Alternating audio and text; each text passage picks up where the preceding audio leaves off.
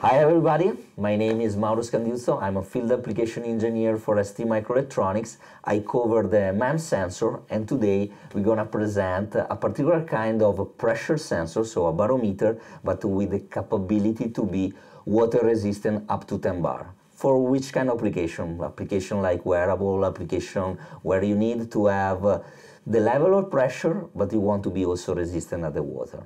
So the device that we are talking is LPS33HW. In my PC, I just download, download from st.com the datasheet. Here you have a better idea how is the device. You have a picture here. If you see is a metal lid, particularly is a cylindrical metal lid, and around the metal lid you can adjust the O-ring to make a sealing on your, uh, let's say, final application and adjust your housing.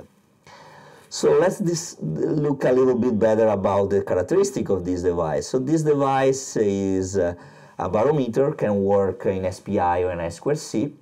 The supply voltage can go from 1.6 volt up to 3.6 volt.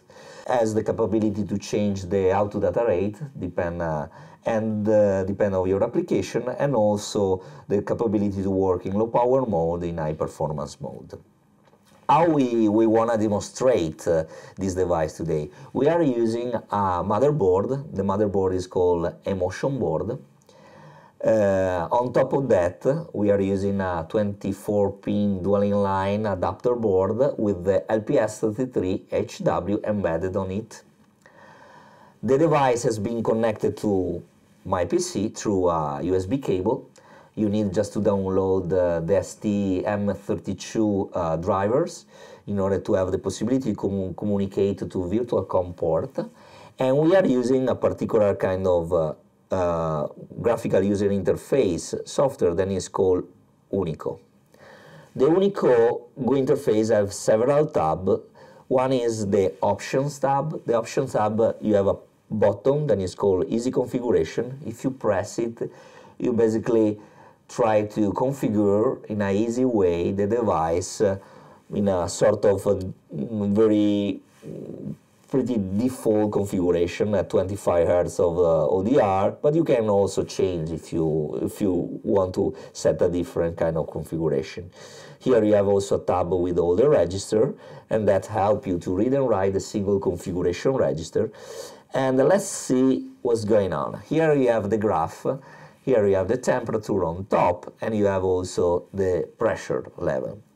So let's see if it's really water resistant, this device. So I take this board and I pull inside the water, see what's going on. So if I put just inside this water, I can see the pressure level is changing. Okay, let's drop a little bit the board inside, and I see the pressure level is changing.